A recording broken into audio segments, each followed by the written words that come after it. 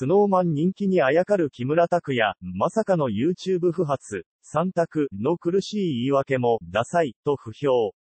昨年、世界を揺るがした旧ジャニーズ事務所の性加害問題。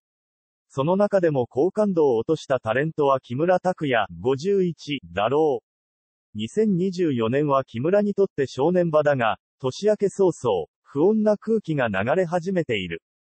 1日放送のフジテレビ系3択で、明石家さんま68から性加害問題をめぐる事務所の騒動について振られた木村は、さんまに相談の連絡をしていたことを明かし、ある意味、自分の声で、自分の言葉で言える場所がなかったんですよ、と発言。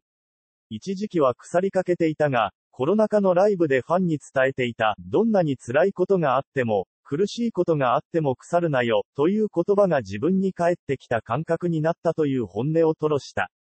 結果として腐らずに踏ん張った木村は、一日に YouTube チャンネル、木村拓也を立ち上げ、木村さーん。全力で行ったります、というタイトルの動画をアップしたが、